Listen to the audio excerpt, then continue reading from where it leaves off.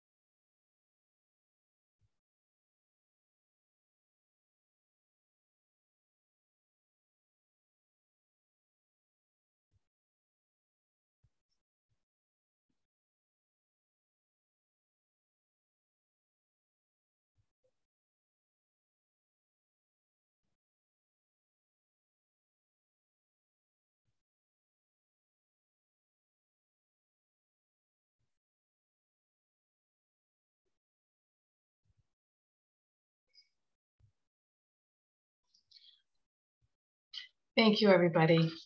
Um, so we're going to get started. Um, I have prepared a PowerPoint uh, that I have used with my students in my university um, and that um, will show you, take you through what IRAC is, um, but don't turn off your participation voices.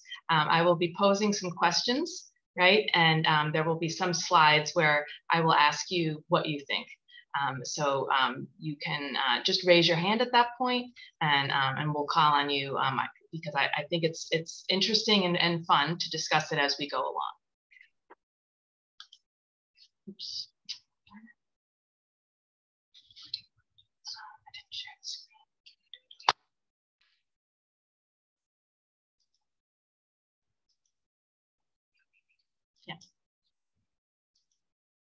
Okay.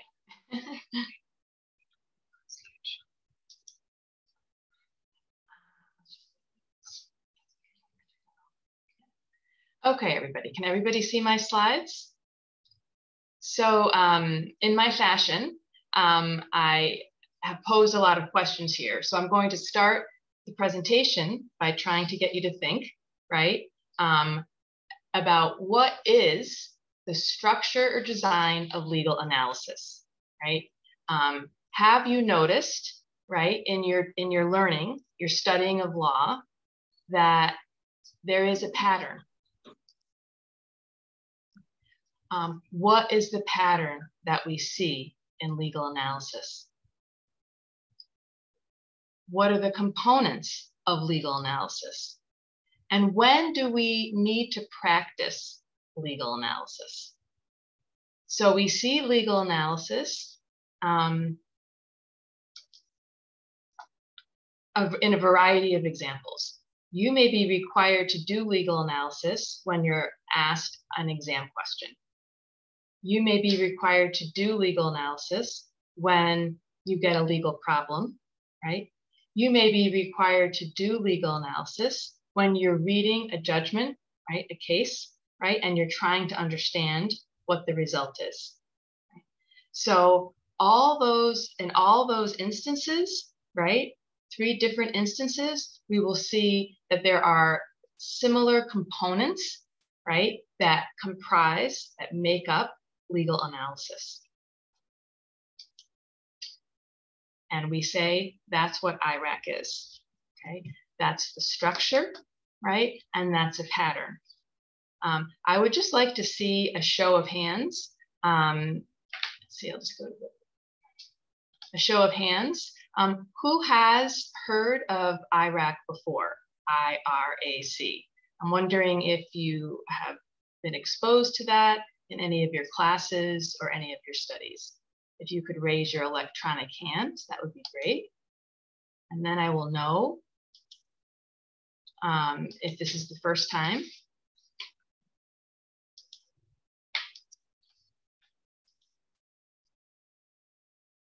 Okay, I see no electronic hands. Um, and, and I'm assuming everybody knows how to raise their electronic hand, right? okay, so this is the first time. Okay, um, good to know. So um, this is um, a mode of analysis that's used, uh, I've seen it used in law schools across the world, so we're gonna learn it, and it's not that hard. Um, so first of all, you may ask, what does the acronym stand for? The acronym stands for the four components of legal analysis.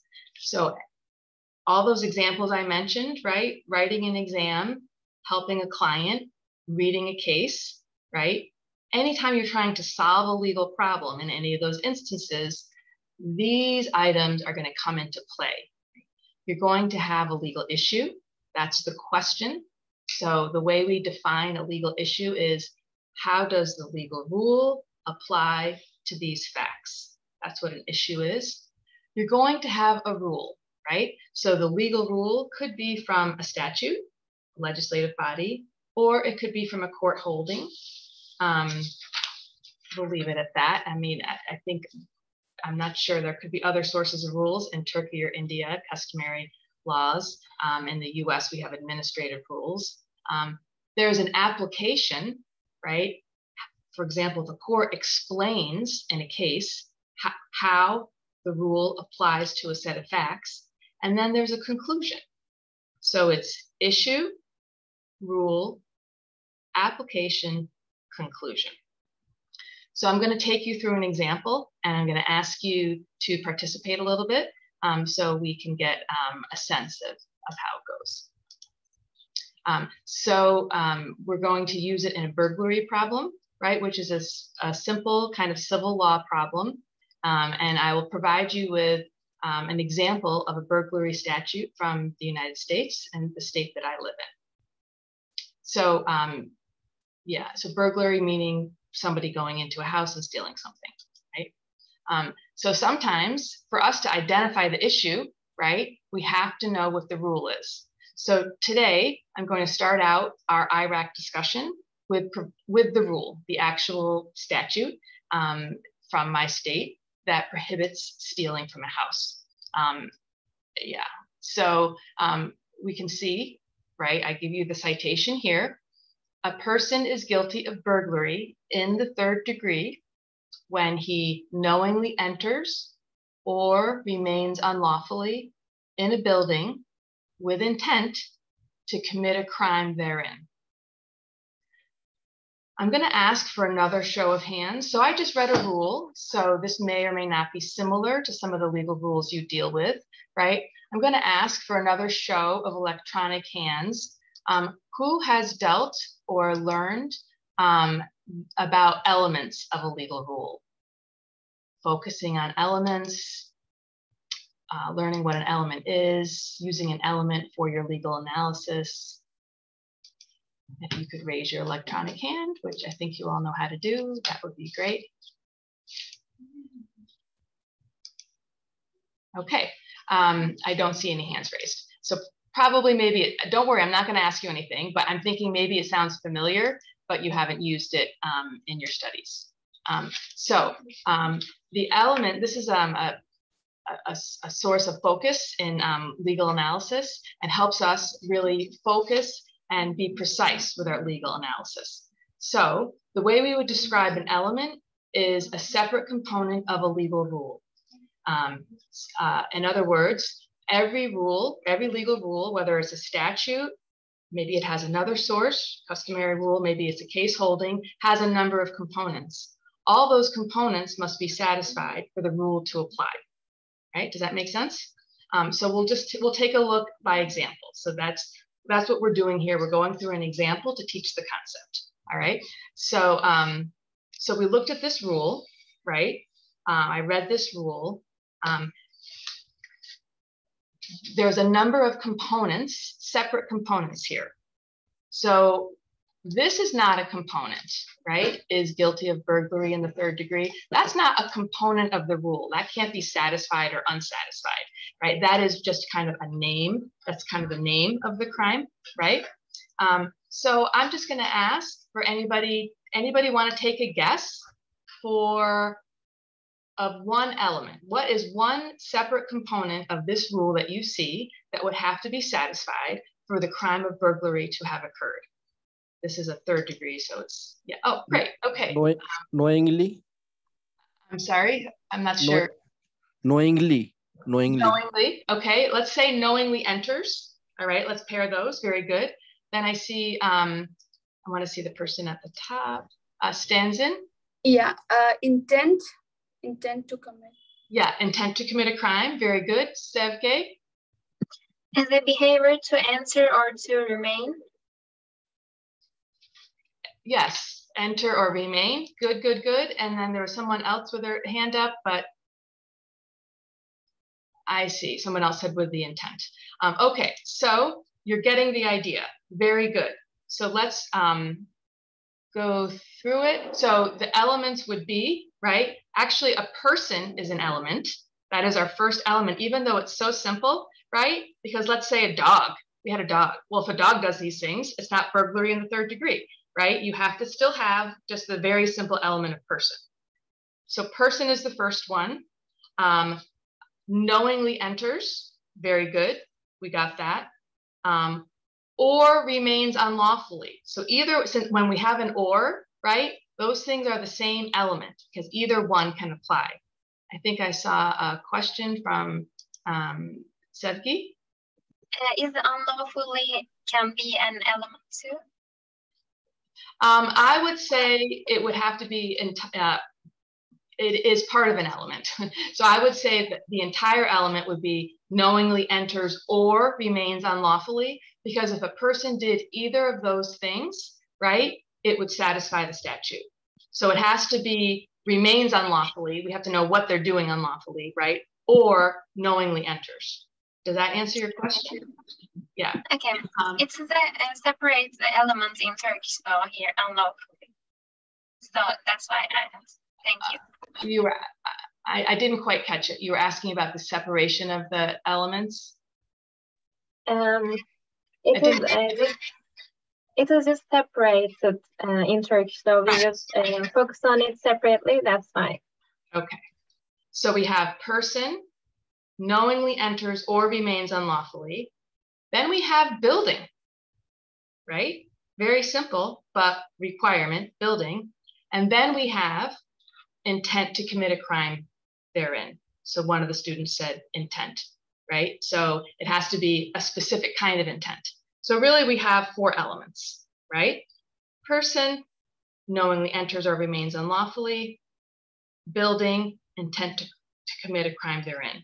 Those are the four elements that have to be satisfied for burglary in the third degree to occur. Um, so now we're going to work through an example, all right? And I'll continue to ask for your participation. Um, so uh, I'm showing you a picture of um, ancient ruins from the United States, from the Southwest, um, from the ancient Pueblo people, and uh, they were called Anasazi. So these are Anasazi ruins in the state of Colorado, which is in the Southwest. So here's our legal problem. What if Margaret, a tourist from Buffalo, spent the night in the cliff dwellings, shown here, because she intended to steal a ladder from the dwellings. So I'm not sure um, there, if you can really see it, but um, there are some ladders kind of tucked in here and there among the doors. Okay, so that is our very simple legal question, right? So I'm going to ask you, right? These are the elements that you've identified, the ones in red. I'm going to ask you um, which element are we going to be analyzing? Asim? Uh, we don't know if this thing is a building. Very good. Very good. So we know we have a person.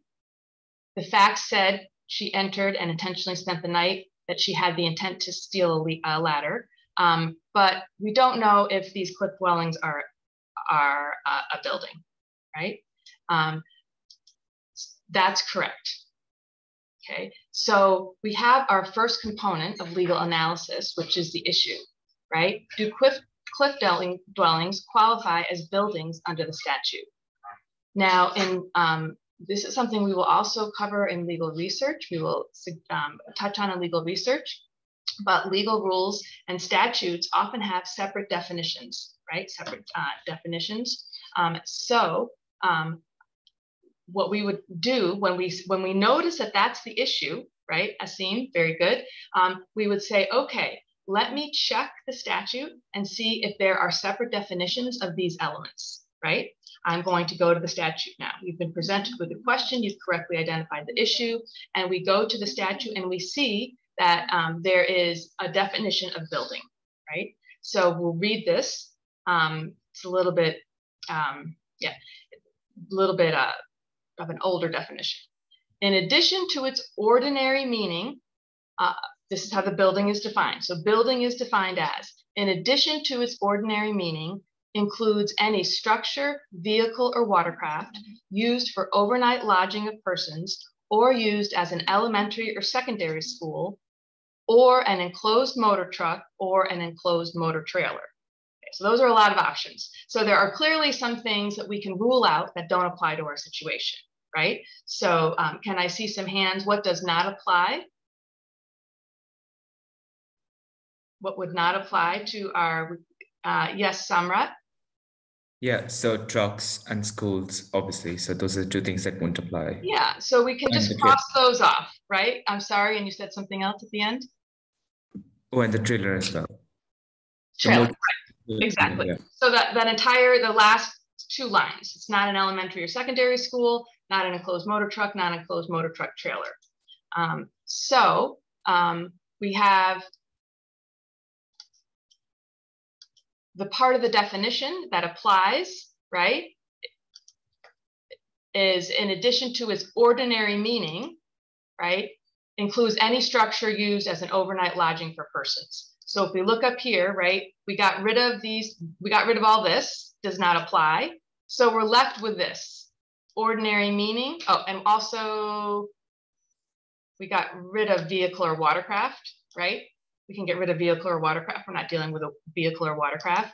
So we're just dealing with ordinary meaning, um, structure, and overnight lodging of persons, right? So what I did was just include the parts of the rule that apply. So in addition to ordinary meaning, includes any structure used as overnight lodging for people. Okay. Um, so again, now we are going to return to the issue and we are going to refine it, right? We are going to refine it in light of the definition for building. So what is our issue here then? It's pretty simple. I think you have it. Samrit has raised his. Oh, I'm sorry, Samrat, yes. Yeah. Okay. So I guess the legal issue here would be was with whether the cliff dwellings qualified as overnight lodging, like did this serve that function or not for persons?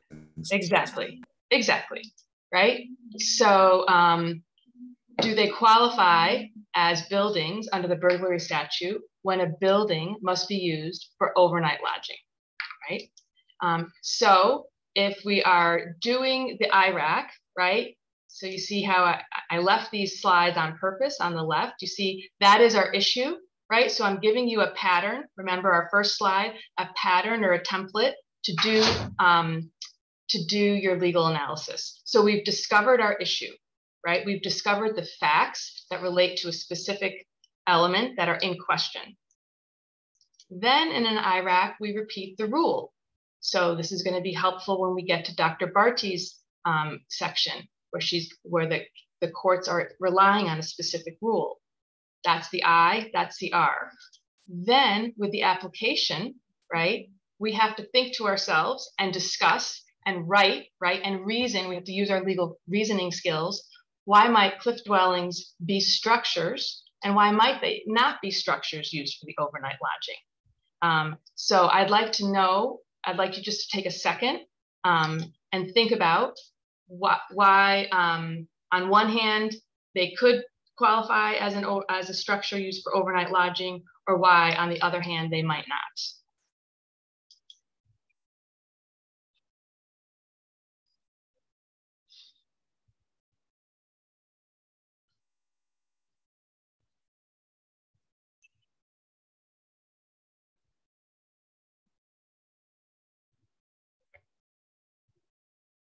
Okay, great. Stanzin? Uh, I have, I'll answer the next one, the second one, why the cl uh, cliff dwellings might not be structures. Great. Okay, because like uh, one of the reasons could be they are old, old ruins used by the ancient people. So can they be considered as like, you know, structures, like strong structures still standing? I mean, though, yeah, it is still standing, but yeah, I don't know if they qualify as structures. Well, so. I'd like you to make an argument, Stanzin, just hypothetically speaking, can you make an argument why they might not be structures? Why? Uh, Yeah, go ahead. yeah, they can fall anytime. They are simply ruins. Okay, good. Anybody else want to, uh, I have two more participants raising a hand. Let's see. Great, Abhay? Uh, yes, ma'am. Uh, so, as I mean, what I believe is that there should be a law which protects these uh, these uh, monuments. These are ancient monuments. So I'm pretty sure even if they don't fall, even if they are uh, fit to stay overnight, the people will not be allowed because uh, they can disturb the monument. So I'm pretty sure some law or rules would be there, which Yeah, is have a- the Mhm. So yeah, I mean that would, uh, uh, I guess, disallow people not to stay overnight. Mhm. Um, good. I want to hear from everybody. And then I have another comment from Sevgi. Uh, I agree. They're old, but uh, they are uh, built in some time, and also they are used for the need of shelter. That's why I think they are structure, and uh, we can um, consider them as uh, building in the uh, use of the sentence. I think. So you are saying they might be structures because they are used as, as shelter, right? Yeah. Okay. Yeah. And then um, some of the other students said they might not be structures because they're not currently used for the overnight lodging. I think that's what you were getting at when you were saying they might be protected, right? They might be, um, there would be a law against maybe going in there and spending the night, right? Um, Even if they are not. Uh, sorry. go ahead. Even if they are not used uh, now, but they can be used. So Right. structures. I think. Okay, so um, Sepke, you're saying they could be used and they were used as overnight lodging, and the other students are saying, well, um, they can't be used now because it's against the law, right? So in effect, um, they're not actually um, being used for uh, overnight lodging. Does that make sense? Does anybody have something to um, uh, something to add? Uh, yeah.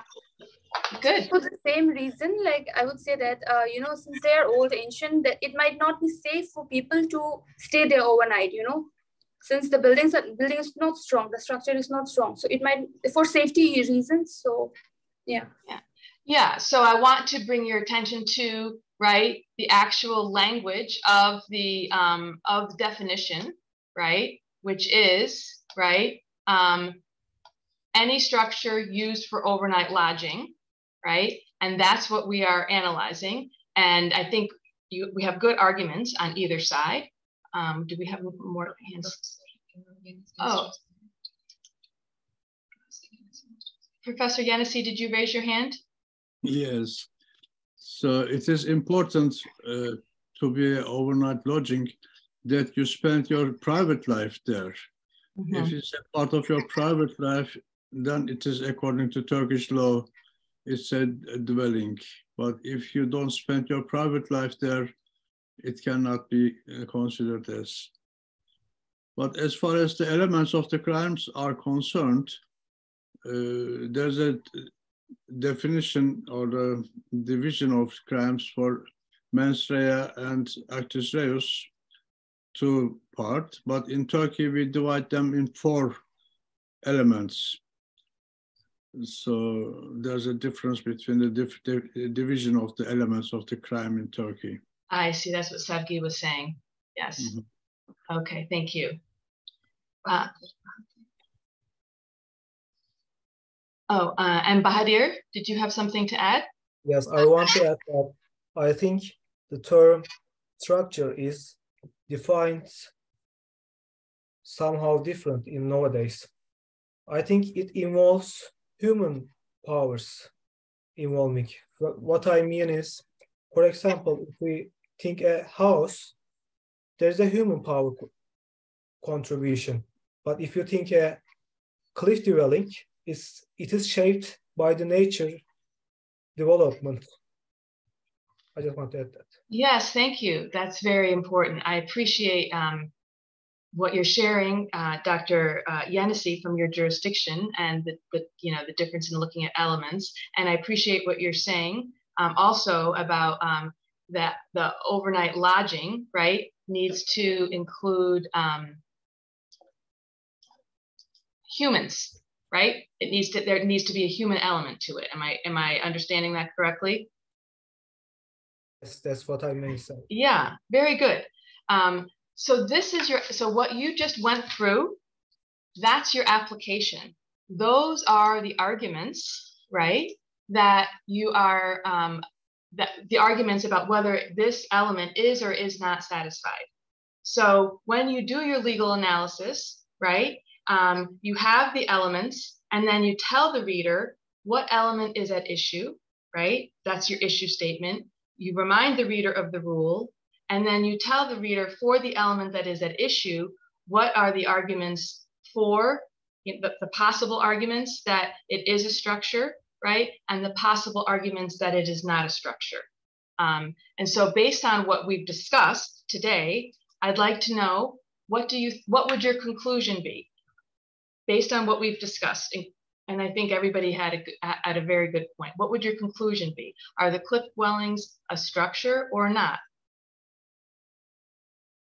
And therefore, was burglary in the third degree committed or not?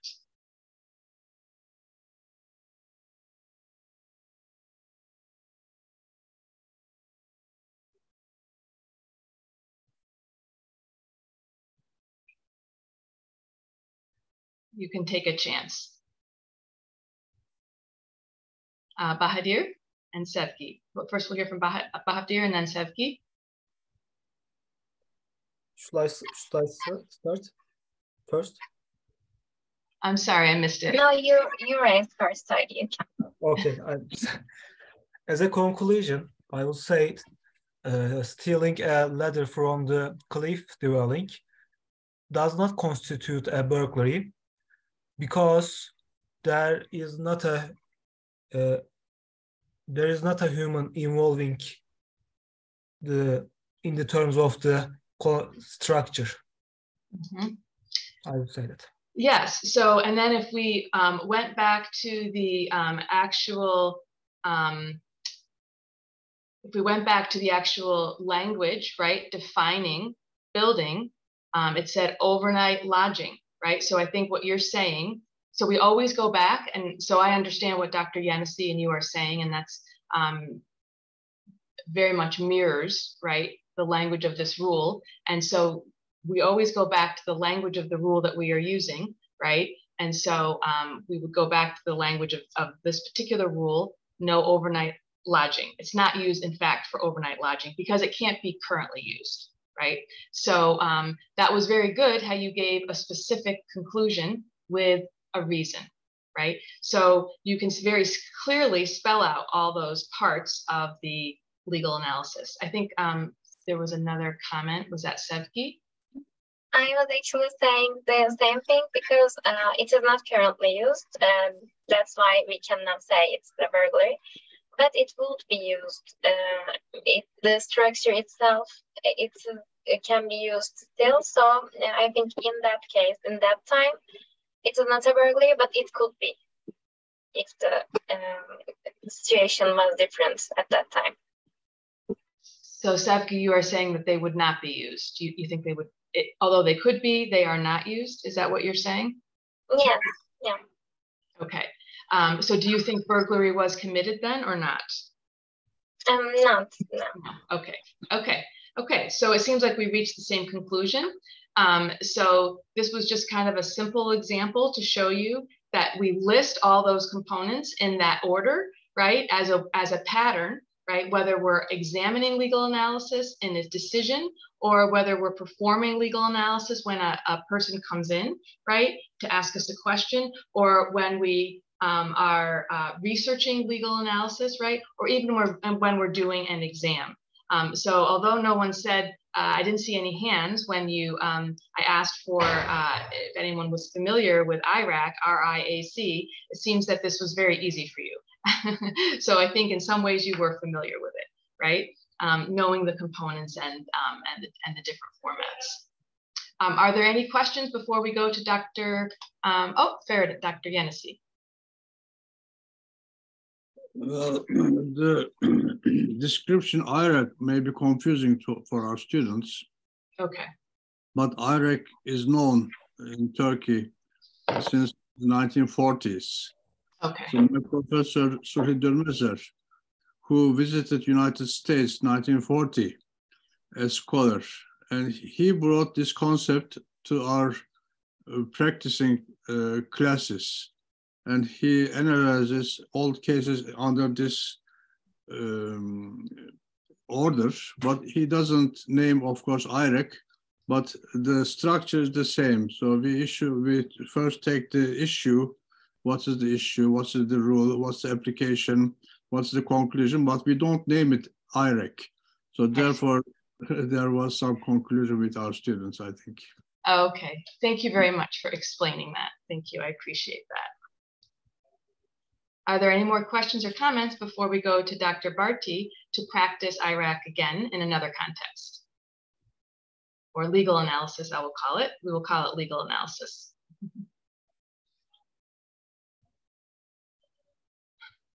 It seems uh, we don't have any further questions to hear, but there are some uh, responses in the chat, uh, so we'll try to take it. We're just going through the written uh, response. Okay, so um, let's see. I see that um, Tuxi has a question um, from the, uh, the PDF, which was um, just an outline, right, of the IRAC uh, method using negligence. Um, in a negligence case in which the defendant argues that the plaintiff assumed the risk of harm, the relevant rule of law could be the elements of negligence and the definition of assumption of risk as a defense. Don't just simply list the cause of action, such as negligence, as a rule of law. What rule must the court apply to the facts to determine the outcome? Okay, so you're saying, um, Tuxi, that you're not understanding what this means. Um, the directions there um, mean simply that when you cite the rule, when you're doing issue, rule, application, conclusion, when you're referring to the rule, that the reader um,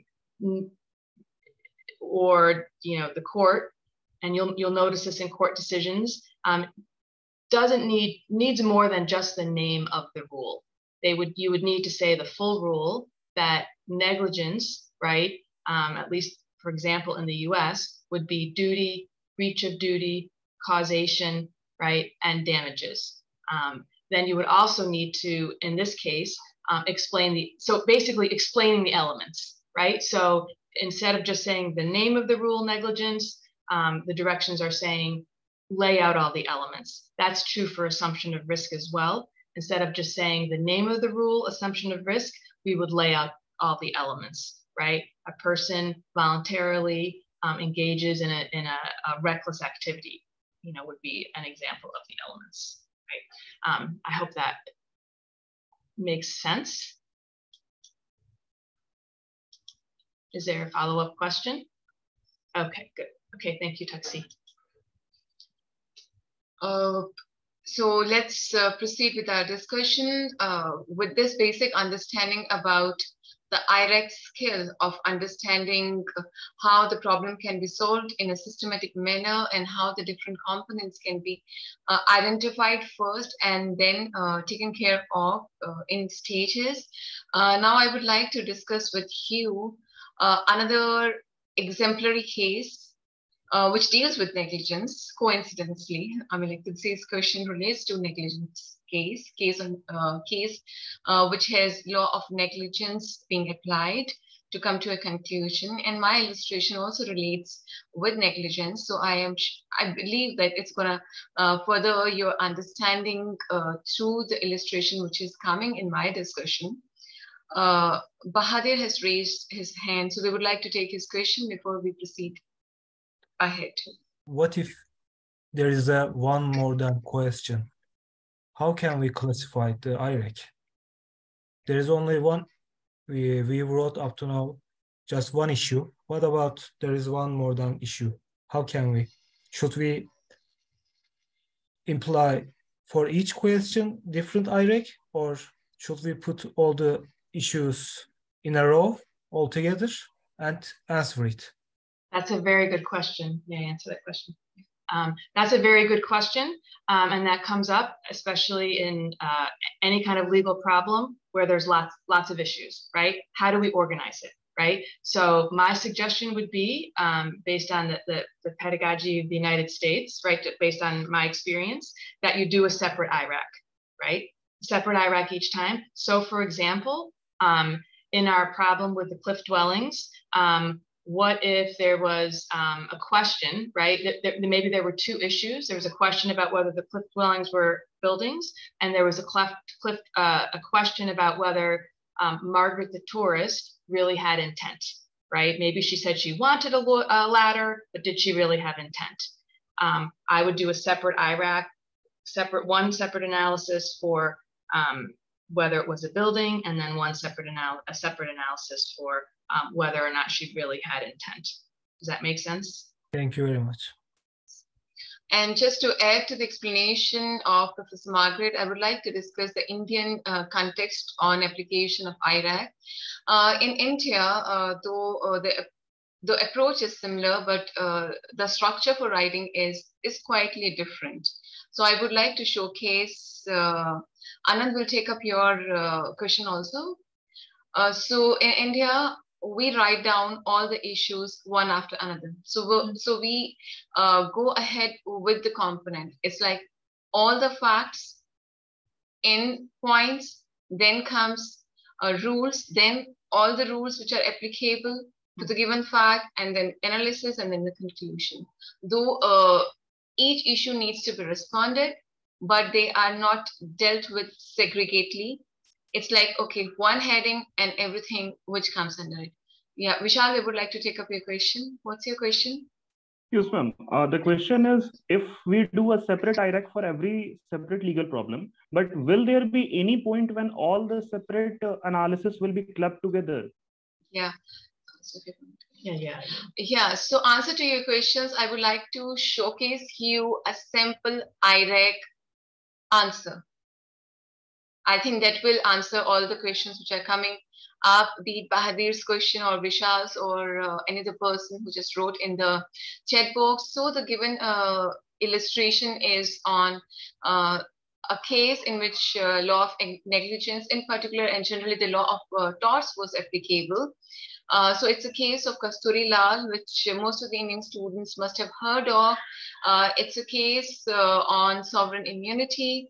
I would like to share my screen to showcase you a simple answer of application of IRAC. And see, IRAC can be used for two purposes. One is, one purpose is what uh, is just being discussed by Professor Margaret. That is, okay, you have a problem, you apply IRAC, and then you come to a conclusion. In, the, uh, in this approach also, there is one component that is rule. And to understand rule, you need to refer either the statute books or the judicial pronouncement as per the Indian laws. Because in India, the source of law consists of statutory rules, law, or uh, the judicial pronouncement. Because in India, precedent is the source of law. Means the earlier judgment on a similar fact is being followed and looked into by uh, the judiciary in subsequent cases and the customary law. So to uh, find out the content for the rule, uh, we can refer to the judicial pronouncement and how a judgment can be read, be better understood by applying the IRAC method. So it's a reverse order. So here you have a judgment. So in the Margaret's illustration, it was like you have facts, then you understand what exactly is the issue which the parties are suggesting, and uh, what is the relevant law to deal with that issue and what could be the conclusion to suggest or to think of or to, uh, to request and plead before the court of law. Other approach of using IRAC method is that you wish to understand that what exactly is the position of law. And for that purpose, you, you can refer to judgment as per the Indian uh, legal system and jurisprudence and from there, you, uh, from the judgment, you segregate these components, issue, rule, analysis, and judgment. That what exactly is the judgment? And before I showcase you by sharing the my screen, uh, I would also like to bring to your attention another component which you'll get to see in that PPT. Uh, it is for international students and just to give them some background understanding uh, of how uh, judicial pronouncements uh, uh, act as a source of law and what are the components which can be seen in a judicial pronouncement. Uh, in India, a judgment can be pronounced by a single judge. At the same time, it can also be pronounced by a bench of judges. Means there could be more than one judge uh, in a. They can just hold. There's something.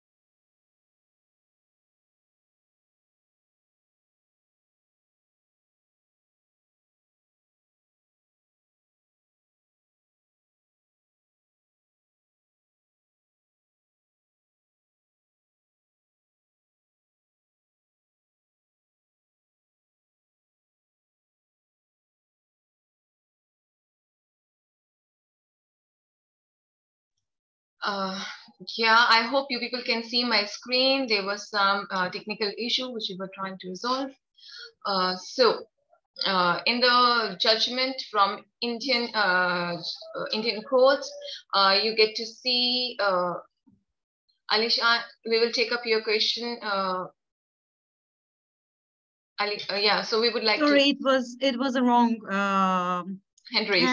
And I just wanted to say that the thumb, uh, everything is okay now. Thank you. Okay. Uh, so uh, I'm just trying to brief the international students that in the Indian uh, judgments, we can get to see the majority opinion, which constitutes a conclusion and which forms a precedent for the subsequent cases. And it can also have a dissenting opinion. So a judgment which has single judge there we find one conclusion. Whereas in a judgment which has a bench of judges, means more than one judges, still there will be one conclusion on the basis of majority opinion, but still the judgment uh, acknowledges the dissenting opinion. So in the illustration, I uh, will exhibit the dissenting opinion of uh, the judgment, uh, which I'm going to illustrate to see that how rule can be understood by the application of IRAC method. So IRAC method can be used not only for problem solving when a client approaches you, uh, and for suggesting that what could be the probable outcome uh, for uh, of the issues which he is uh, addressing and sharing with you for understanding the legal recourse which is available to him. But uh, from the point of view of an advocate attorney when they do their research uh, for preparing their brief to be presented before the court of law to understand rule IRAC method can also be applied so I, as uh, my screen is visible to you, uh, I wish to show you that, see, this is the name of the case, Kasturi uh, Lal Ralia Ram uh, Jain versus State of Uttar Pradesh. You see the citation and everything. Uh, and then comes the fact of the case. Uh, so the fact of the case was, uh, here this appellant was a partner in a law uh, was a partner in a firm which used to deal uh, with jewelry and this person came to a certain part of india uh, to to sell uh, uh, some gold and uh, silver which he was carrying because he was a merchant he was a businessman dealing with selling of gold and jewelry. And the police officers of that particular region suspected him to have stolen uh, that uh, jewelry and they confiscated means they took away the jewelry from him and they kept in the custody of the police station. And he was arrested and he was detained. He moved uh, he moved forward his application for bail by producing evidences that he is in the lawful custody of the jewelry and when it was found that he is the owner of the jewelry and that custody is lawful, he was released on bail. When he was released on bail, he asked for the recovery of uh, the jewelry which was uh, taken from his custody and kept in the police custody. But then it was found that jewelry was missing from the police custody. A person who was in charge of that custody in the police station ran away with the jewelry. The police force, uh, the department tried finding that person, but that person fled to other country. And it was found that it is beyond the control to bring that person back. So these were the facts of the case, that there is a person who is a dealer, businessman of jewelry. He was suspected of, uh, of uh, being in unlawful possession of jewelry. Jewelry uh, got confiscated from him, kept in the police custody. He was also kept in police custody. By producing the relevant document, he got released and he could prove that he was in the lawful custody of the jewelry. When he asked for the recovery of jewelry that could not be returned because the person who was in custody ran away with the jewelry and he ran away to other jurisdiction to other country and the government could not bring him back but the appellant had had an issue so now till now you could see the facts of the case so this is how the IRAC method is applied in India for uh, understanding the, uh, the different components of judgment and to understand what exactly is the rule. And it is also essential to understand the facts because only on the similar facts, the same rule can be applied as a source of law. So when we read a judgment, it's not only that what exactly is the conclusion or rule laid down in that particular judgment which is relevant, but also the facts, because only when the facts before the case are similar with the facts of a judgment which are being referred as a source of law, it becomes relevant and a given ruling in a judgment can be applied as a source of law uh, for problem solving before the court of law. So for these two reasons, uh, IRAC method in understanding the judgment becomes uh, relevant in Indian context. So on your screen, you get to see the facts and then comes the issue. What exactly is the issue? Uh, this person filed a case and uh, he says there was negligence in keeping the jewelry which was confiscated from him and kept in the police custody. So there was negligence in the control and custody of the police officer. And second, because there was negligence uh, on the part of the police officer, he is entitled for compensation. So his claim was either you return the jewelry or if you can't return the jewelry because the person has fled to some other country, give him the compensation which is equivalent to the value of the jewelry. And then third issue which comes is in India, there is a law which says sovereign, which talks about and which provides sovereign immunity. Means if uh, an act which happens to be a negligent act uh, happened during the discharge of sovereign discharge of function, then the state cannot be held liable. So the third issue was whether uh, a police officer who was discharging his sovereign duty of uh, keeping the custody of things which were suspected to be stolen can be held liable to pay compensation or whether the state can be held liable for paying compensation to appellant uh, for the negligent act of its public servant. So these were the three issues. So this is what I was uh, uh, responding to uh, in response to one of the questions which was raised that how in the Indian practice issues are being written. So it's like all the facts in sequence in the chronological order are listed and out of those facts, what are the issues which were litigated, argued before the court? Because in India, we have adversarial system. On each issue, both the party produce their evidences. So once the issue means the point of dispute between the parties clear, then comes the new uh, then comes the next stage that is of the rule. Rule here, uh, which is applicable to the given uh, facts uh, of the case is of uh, sovereign immunity. State is immune for any liability which can be incurred in the discharge of sovereign obligation and policing, maintaining law and order, keeping the custody of things confiscated from suspect falls under the uh, falls under the discharge of sovereign duty. So as per the law, As per the analysis and application of law, the state cannot be held liable. So the conclusion and the ruling of the court was that yes, there could be some negligence, but the person who is charged for this act of negligence was a public servant and he was discharging his public duty. So by the application of this, this rule, which gives sovereign immunity, the person, the accused cannot be held liable. This was the ruling of this given judgment and it was based on the majority of the opinion. If you had noticed on the uh, initial page that this case was listed before bench of judges. So there were more than one judges to deal with this issue.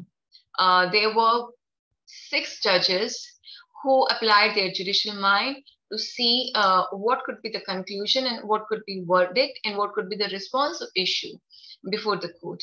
Majority of the opinion means out of six, five of the judges lay down this ruling that there is an established rule which says sovereign immunity, so no liability, and the appellant has no remedy in it.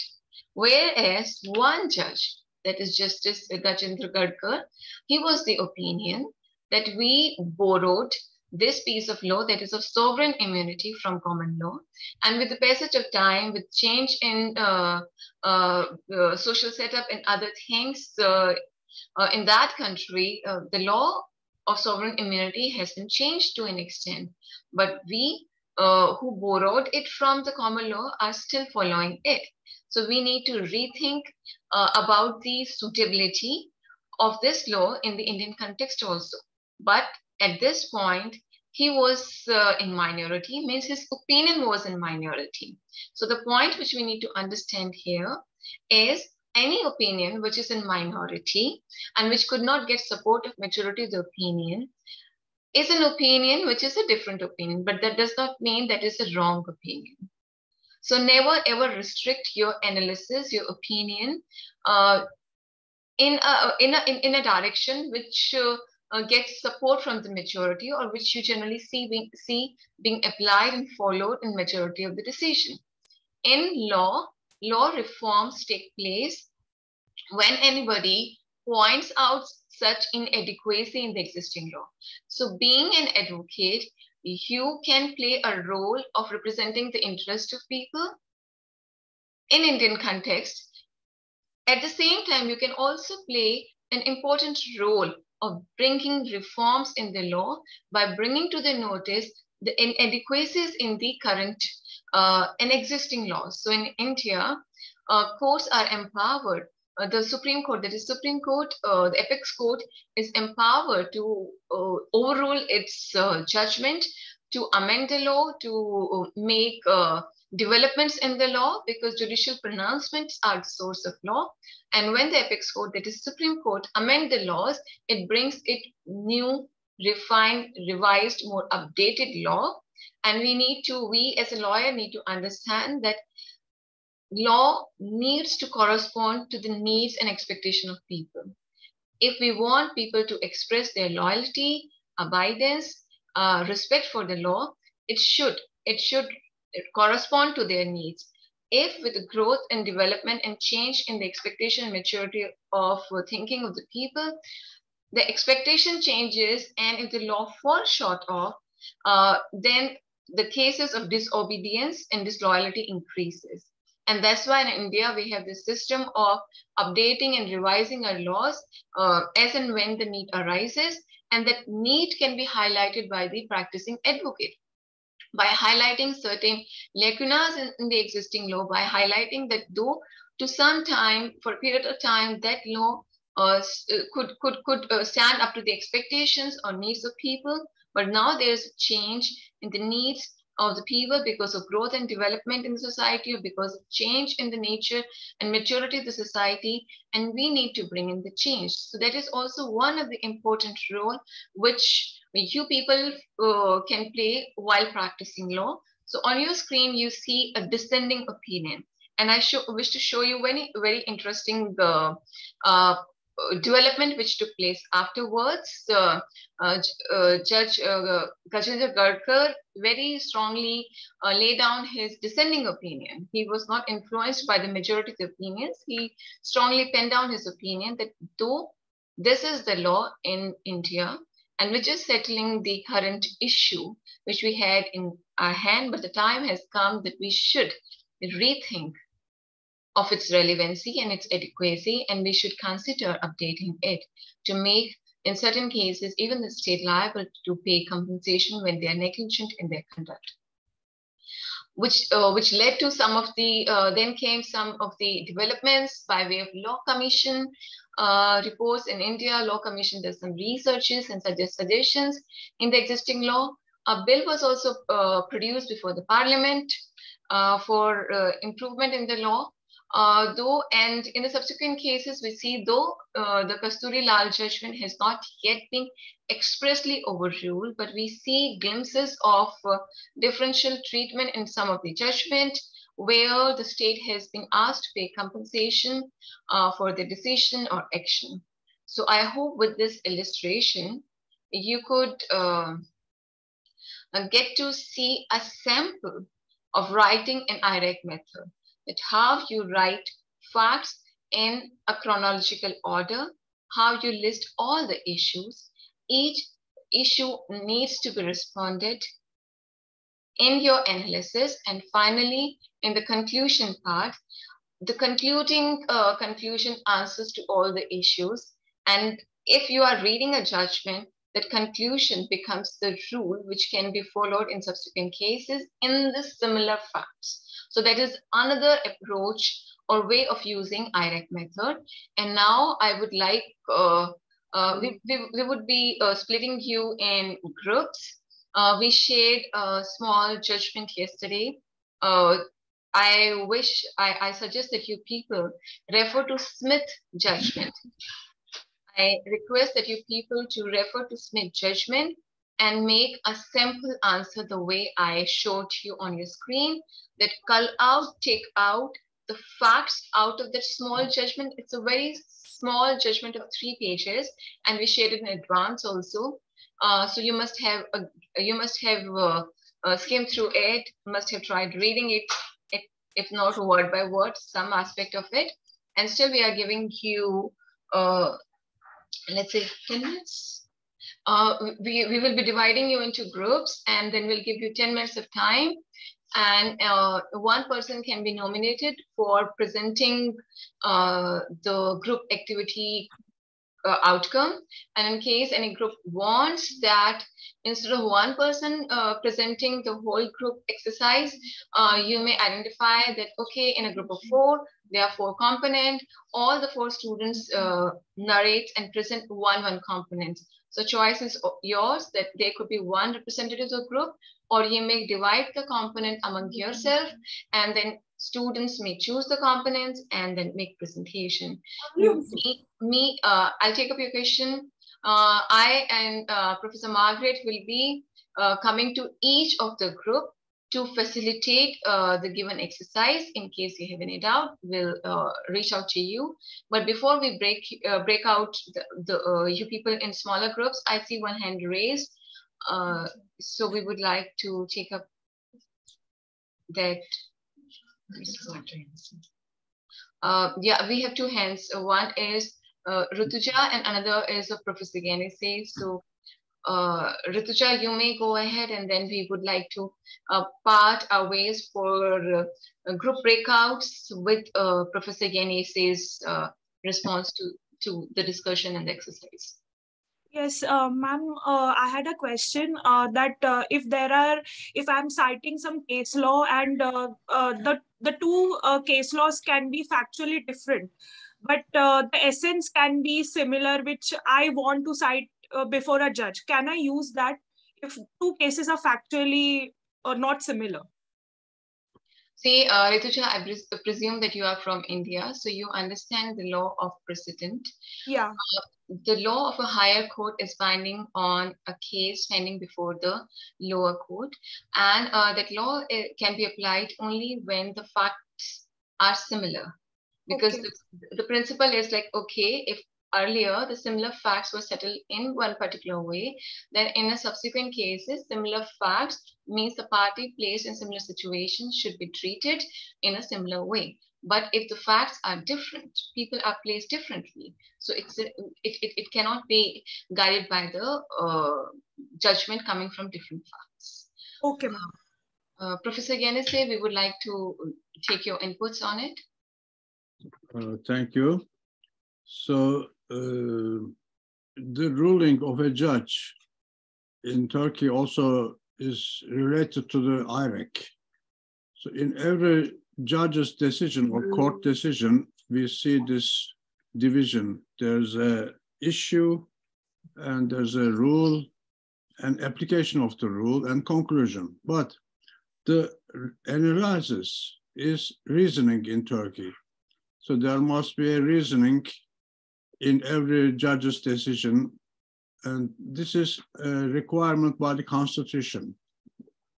The constitution rules that every judge's or court decision must be furnished with reasoning. And if there's no reasoning, it's, it's not valid decision. So therefore, uh, your comments about IRAC is also important for us as reasoning. But although this is the case, uh, many uh, judges' decisions in Turkey are not furnished with adequate reasoning. So therefore, we are making a big uh, work uh, survey on this problem now, how to uh, make it run the work, the reasoning. And what is reasoning? Reasoning is a combination of the issue and the ruling, and you have to explain to the community, the legal community and the whole world that you are justified in doing this and teach something while reasoning, giving a reasoning.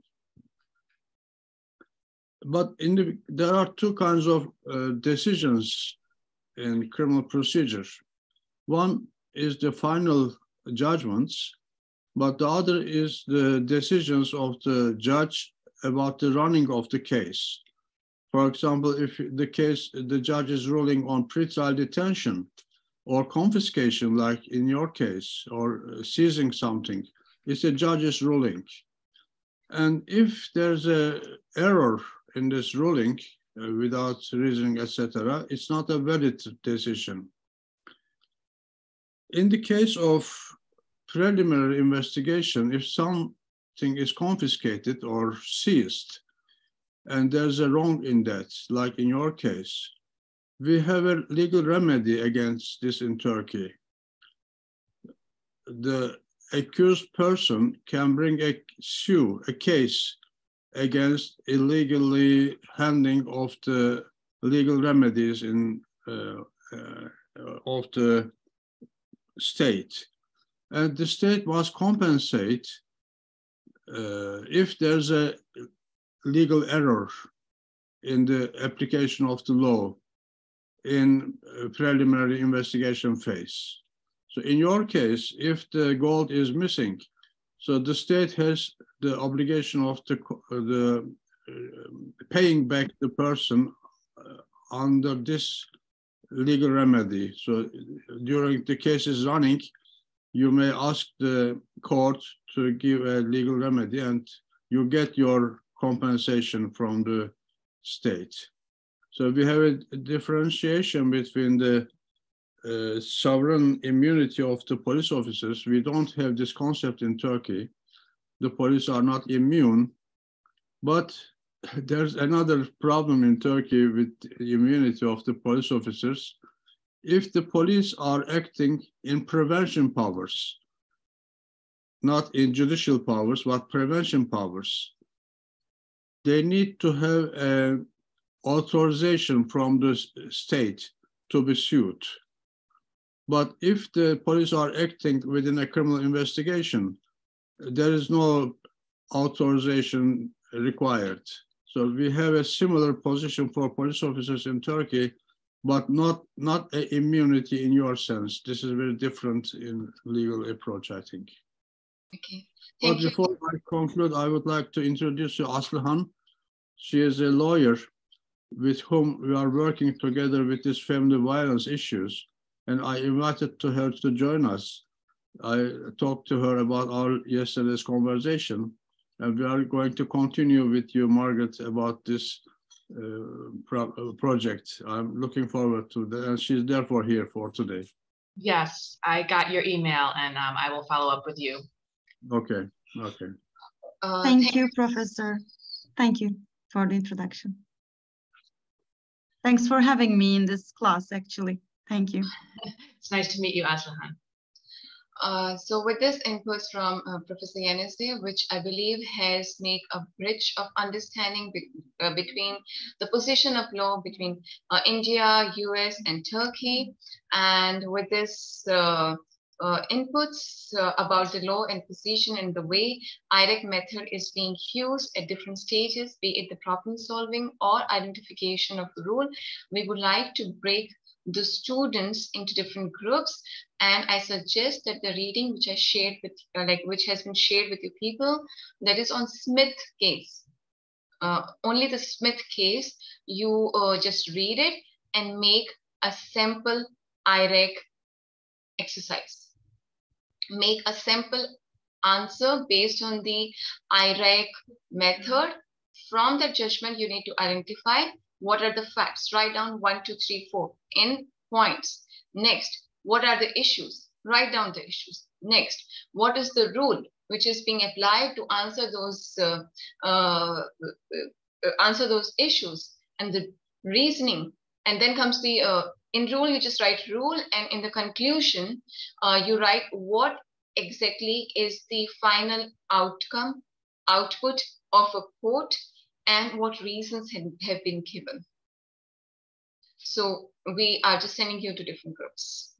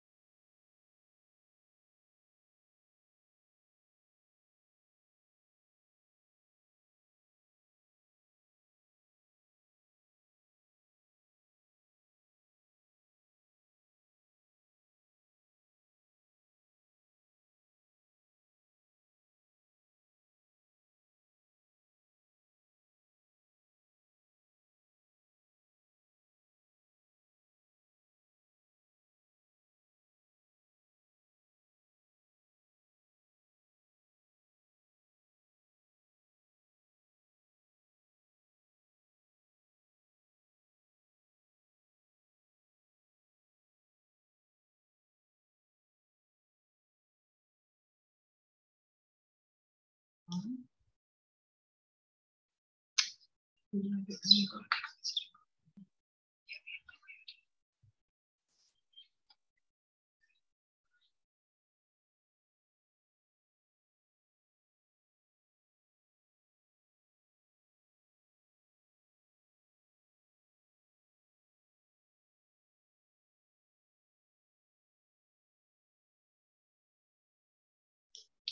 Uh, Hassan, we see on screen one new person who just joined. Do you wish us to assign uh, him to any group or is he or she a professor who joined?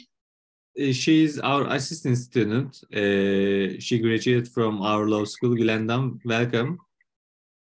Uh, so I- we I can't think- send her to any group or do we? Do you wish to go to any of the groups or? Well, uh, I'm sorry I attended attended late. I uh, forgot to enroll to the course because I knew it was going to happen. So I didn't think that it was necessary for me to enroll. So I forgot to join the first session. Uh, and I'm currently working right now, but I will be listening to the courses. So if there is anything I can do, like if there are groups that are working together right now, I can just join one of them. That's absolutely fine. Uh, that's absolutely fine. And I I, I, think that if you join in, in some of the groups, you will follow something, at least when they come up with the presentations. So uh, if you have not read uh, the, do you have the judgment which was shared? Do you have the text? No, I, I don't think. Sorry, no, no, no worries. So, uh, uh, Hassan, can you share it with her so that in the breakout room when she goes, she has her hand out, and I am putting you in one of the groups, and you can refer to your handout, and then you can just follow what is happening. And uh, as you just joined, so it's fine if you Okay. learn in this breakout. Gülendam is our uh, assistant at the pulse activities. Wow. So she, she is the leading person in the pulse activities for March and the other sessions. So Good to know you. So uh, we honor your uh, choice of going to any of the groups, and I believe that Hassan must have because he's so good in uh, in, in technological aspect. I struggle, uh, so I am sharing you in one of the groups which has lesser number of people. Thank Or- you, and for being late. course. Thank you again.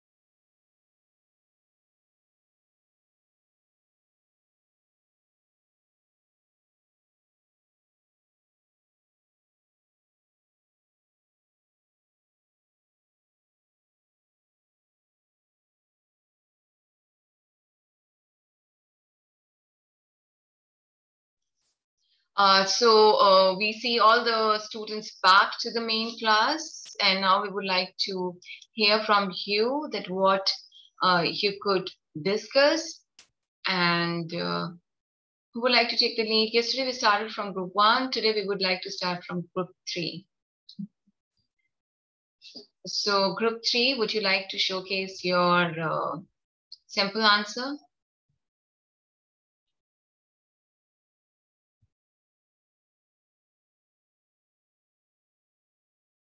Uh, yes, ma'am.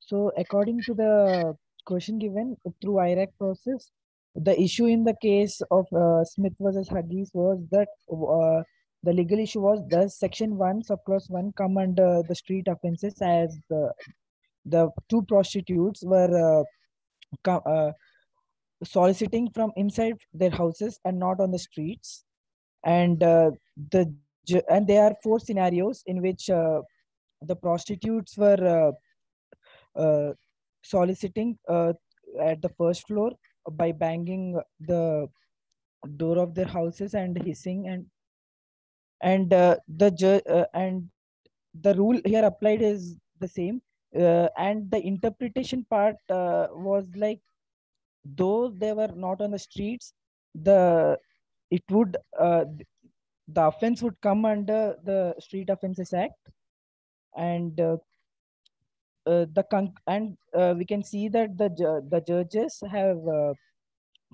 have come under the similar conclusion for each of the scenario uh, yeah Uh, yes, right. Uh, anything else to add on by any of the group members of group three? Ma'am, while, uh, ma'am, can you hear me? Yeah.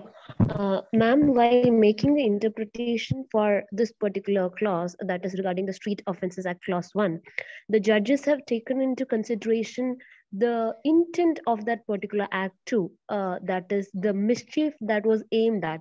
Though the mm, was, uh, though the um, uh, clause is framed in such a way that it talks about the street, it uh, the intent of the act was to prevent solicitation from happening and uh, since the act uh, that these women committed uh, though that has taken place from places that are next to the street or in on the balconies of the houses that is re- residing next to the street taking into consideration the uh, effect of the acts uh, the interpretation has been made that this uh, particular i mean the balcony that is so talked about is also a part of the street and hence the act should apply uh, in this particular fact situation Yeah, it adds to the reasoning. Uh, good point, Helen.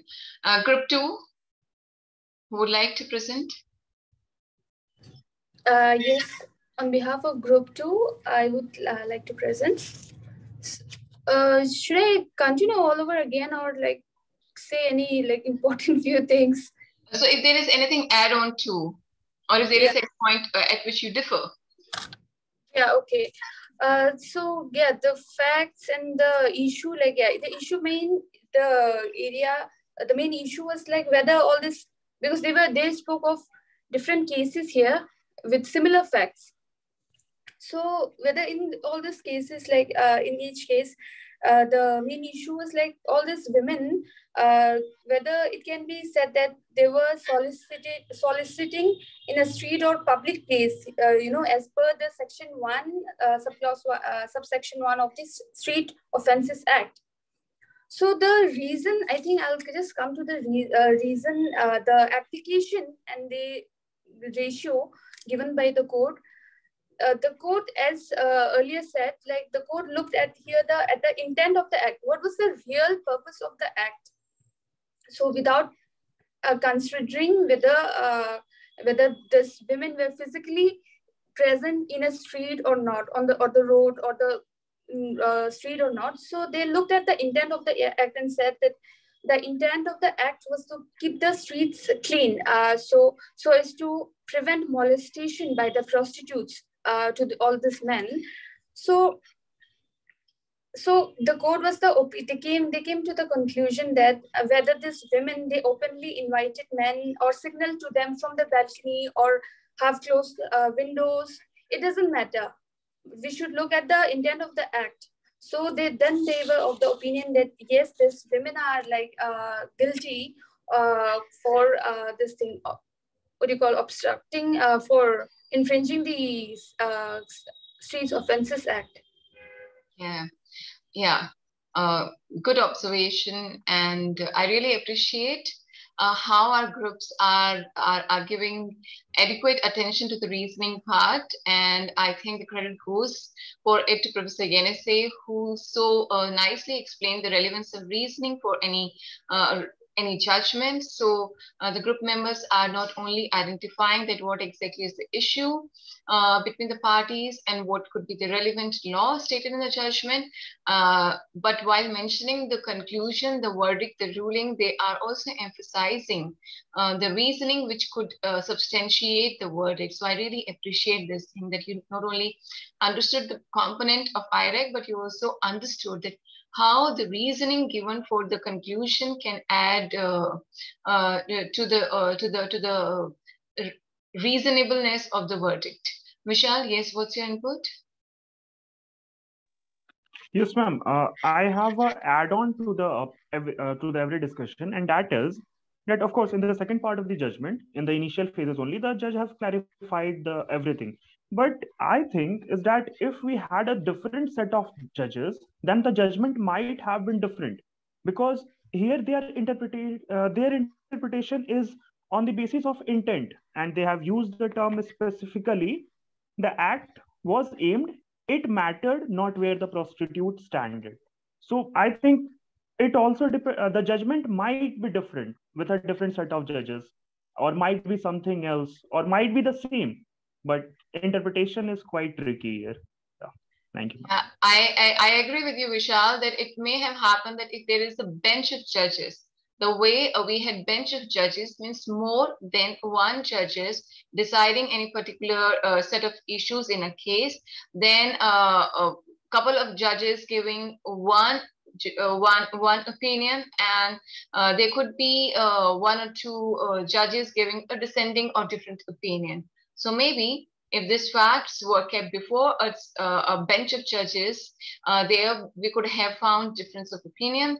But uh, the, the uh, on the basis of the law, which is cited in the judgment, and the reasoning which could we think of, the most probable outcome, most probable reasonable outcome seems to be the, this one. But I, I agree with your point, which which which uh, uh, reflects the relevance of dissenting opinion, uh, which we get to see in the illustration we discussed.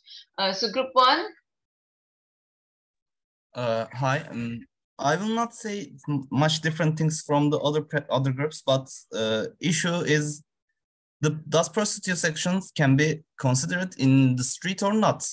This is the exact issue. The and the rule is the Street Offences Act section one one uh, on application, the judges said we should look at the intent of the law, not the direct meaning. And uh, they reached the conclusion that it's a violation of Street Offences Act 1.1. But there's something I'd like to add uh, at this point, and uh, who is my client? Oh. I, I don't know it. There's a clear argument here, and my answer will depend on my client because I have to uh, defend their be, they, their best uh, I don't know interests, and I can say it, this is the answer exactly.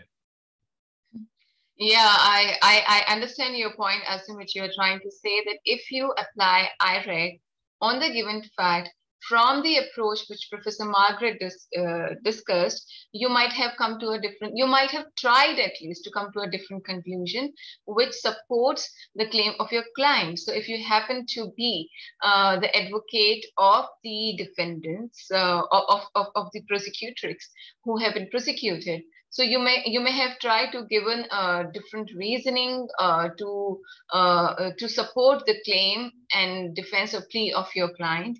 But if you apply the IRAC method for the purpose of understanding what exactly is the rule, what exactly is the rule, then this could be one of the approaches which have be, which could have been applied. But I understand your point that we because we started our discussion with two approaches of applying IRAC and you have identified very good point that first of all, we need to see which approach are we adopting to uh, serve uh, while identifying or applying the IRAC method. I appreciate your point. Okay, so all, all of you are right. I just want to share a screen. Uh, so you just get to see. So it's like issue, it's written. Uh, the first defendant was a prostitute soliciting men from the balcony. The second uh, defendant used window to solicit men. The issue in this case was whether the defendant had violated uh, section one of the Street Offences Act. So this is uh, Civic, uh, uh, will take your question. I'm just giving you illustrative, illustrative sample of the exercise which you all tried attempting at. And the rule could be, uh, I, I, request you people keep your hand raised so that once we are done, I could come back to you. Rule, uh, you all uh, identified appropriately, that's the section one of the Street Offences Act. Analysis, you all did it correctly, that, okay, it's the intent of the act which need to be looked into while, while analyzing whether the facts in issue come within the scope of identified rule, which people identified it right. And the conclusion, if our approach and the purpose of application of law is to understand the rule, would be this, that the mode of solicitation the case was projected upon the passerby and the prostitute were held liable. So this is a, a, a draft of answer which people can write. Um, you it can slightly vary with your approaches, uh, the way Asim mentioned. And now I would like to take uh, Sevgi uh, point, and then we would like to take inputs from Professor Yenisey. Uh, we were group four, but we didn't present. Sorry, sorry. Is it? we have time. We would like to listen from you. I'm so sorry. Okay, then Samet, can you, can you start? Yeah, sure. Hi. Uh, so uh, we'll start with the facts. Uh, two common prostitutes solicited men. Uh, they stood on a balcony uh, and uh, hid behind window panes and tapped on the railing and tapped on with metal objects on the window pane to try and draw their attention. Uh, they used uh, their hands to show like information as to their price for the services that they offered. Um, so those are the facts. Now we move to the legal issue. The legal issue at this play would be whether the act of drawing attention by tapping on the rail or the window pane qualifies the criteria of soliciting or loitering in a public place according to the section 1 1 of the 1959 Act. Now, Seth Sevgi will run you through the legal elements of the rule. And the legal elements is that uh, it shall be an offense for a common prostitute to loiter or solicit in a street or public place for the purpose of prostitution. This is the section one of the Street Offences Act.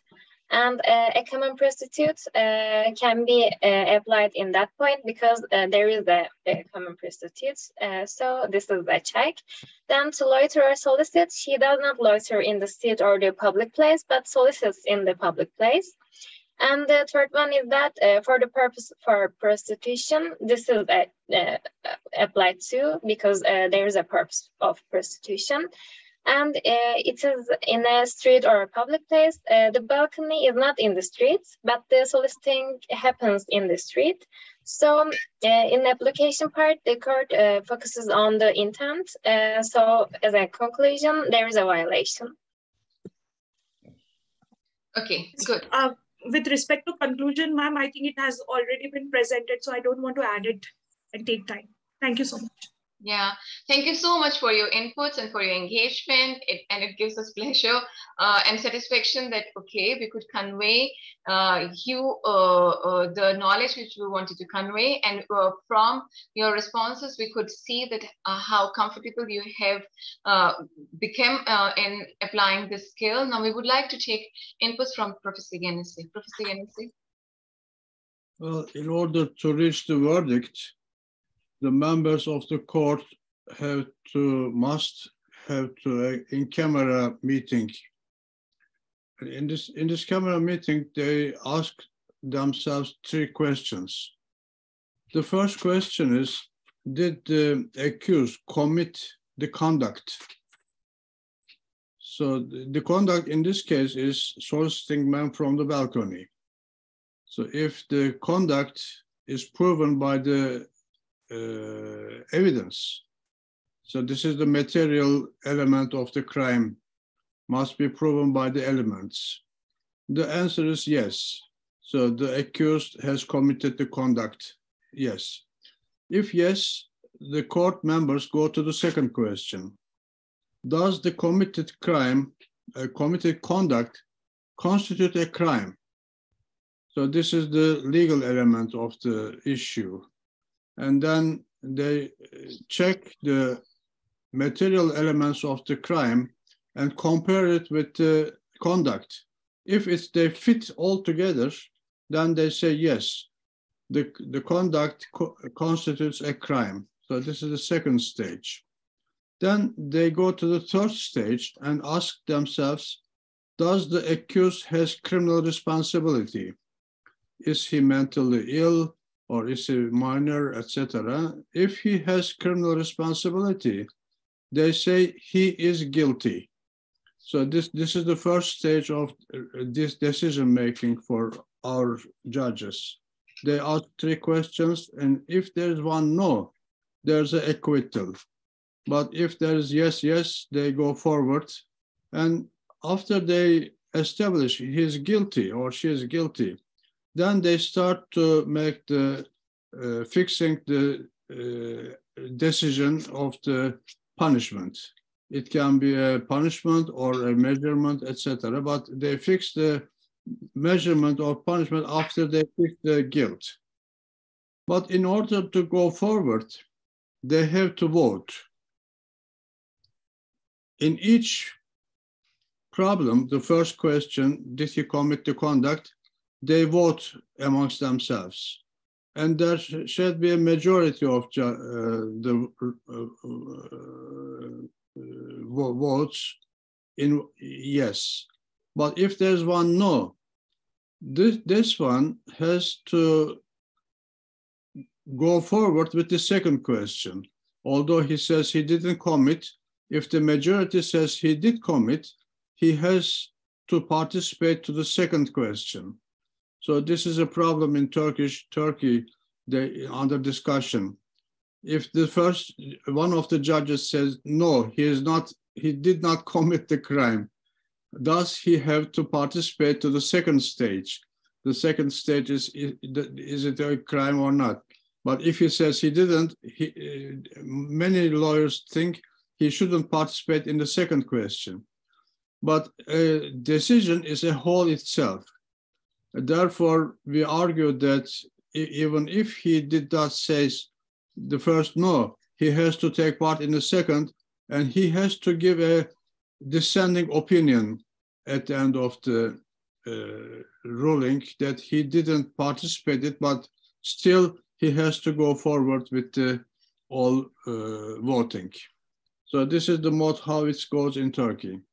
Yeah, very interesting uh, inputs, Professor Yenisey. And when you were presenting, I was just thinking of corresponding uh, uh, approaches which is being uh, adopted, uh, which is being applied. Uh, as we are running out of time, only one point I wish to make that we do have the same steps to deal with the case. And we don't experience the issue which you just mentioned that Turkey courts experience because in the lower courts where the case is being presented they are basically uh, litigating a question of fact. And when there is a question of fact to be discussed, there is always one judge. Whereas when the case goes in appeal, there the focus is more on question of law. That is your second stage. And on the uh, on the question of law, the way I exhibited one of the judgments, there can be difference in opinion on the question of law and how it should be applied, and the majority wins. This is how we deal with it. And we would like to take inputs from Professor Margaret on this or, or further the discussion. Thank you.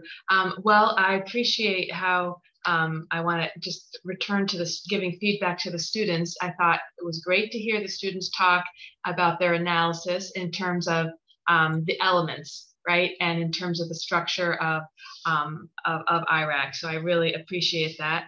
And um, I also really appreciate learning about Turkish law uh, right from my initial um, presentation, learning about your definition of burglary and also how you do the elements differently, the actus reus and the mens rea.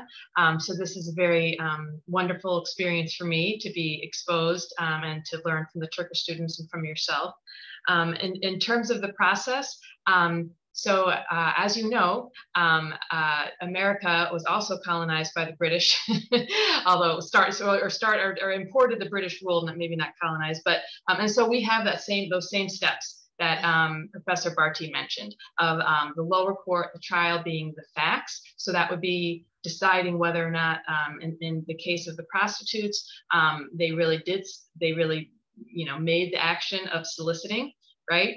and and then let's say they got convicted, then the middle court, so we have three tiers. Um, I don't know if you have those tiers in Turkey or not. The middle tier, um, that, so that let's say the prostitutes got convicted, then they would be entitled to um, a defense, a free defense attorney. The defense attorney would uh, present um, the argument, and then that court would decide whether um, that solicitation, their acts, counted as solicitation under that statute, um, maybe because it wasn't in the street, right? It was from the balcony. Um, and then, um, yeah, there could be, there would be a panel of five and there could be dissents as well. Um, but I don't think that question would be necessarily explicitly decided on the trial level. It would be a, a jury unless the unless the prostitutes waived their right to a jury, and the jury would just decide according to the judge's instructions, whether or not um, what they did matched, uh, counted as solicitation. Um, yeah, so it's, it's very similar to Professor Barty. So um, yes, I, I, appreciate learning about, about this. Thank you.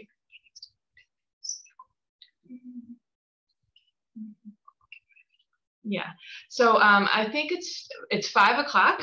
Um, and so um, are there any questions before we close the session? Any general questions before we close the session? I see Stanzin and Rutuja. Sorry if I said your name incorrectly. Stanzin?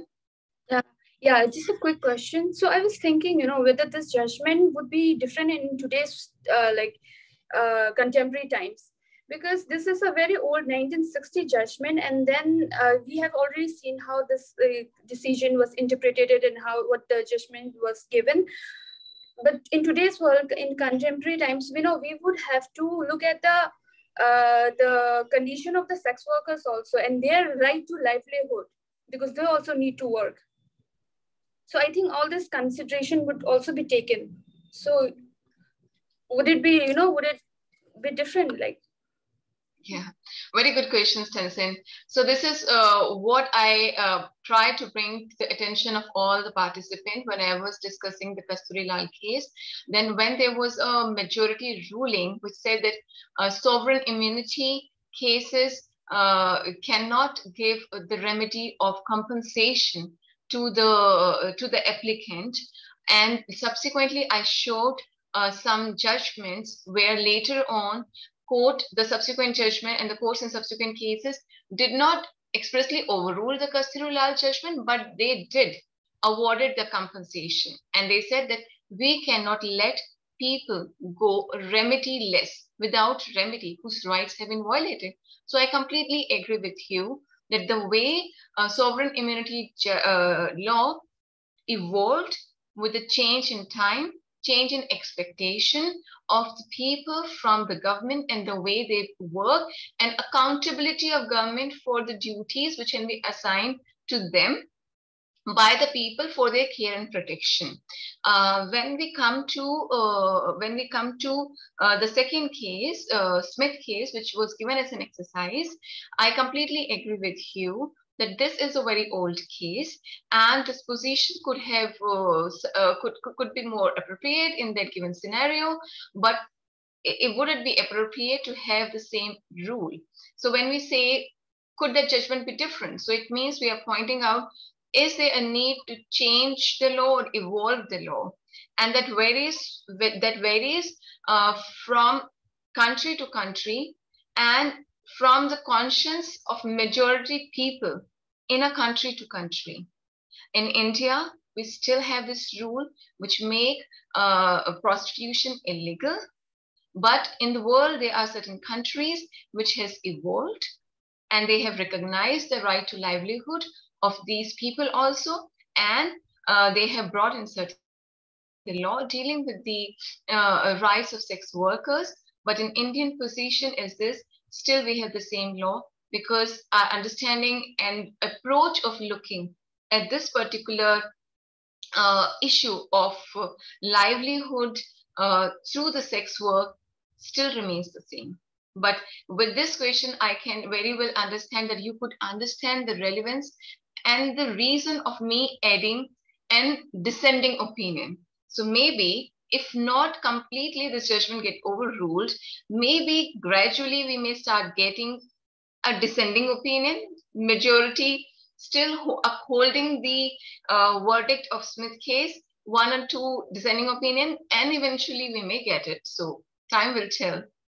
Uh, Vishal, yeah, Vishal and Rutuja, we would like to take your uh, yes, ma'am. questions. Yes, ma'am. So uh, that's a very general query. Actually, I really messed up my studies class. I was really on and off joining due to network and some other issues going on. So uh, when I was uh, trying to hear the recording, some of the participants mentioned about the uh, course material. But what